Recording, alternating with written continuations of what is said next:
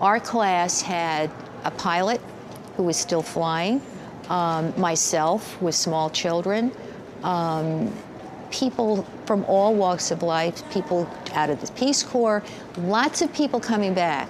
We lovingly called ourselves the retreads, as well as people right out of college. And everybody formed into a cohesive, striving, striving uh, group and, uh, and, and thrived. And I don't think it's any different now.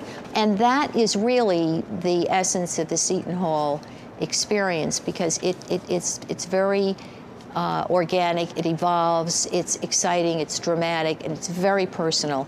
And when the students say, and, and so many of my law clerks have said that why they came to Seton Hall and, and walked into the building and loved it was that sense of accepting them as them, not as potential law students, not even as potential lawyers, but as people who, are here as if just washed up on the shores and ready for anything. And the experience of being here is that Seton Hall is ready for anything that you can give and brings out the best in you. And that sounds very uh, um, corny, but it's true.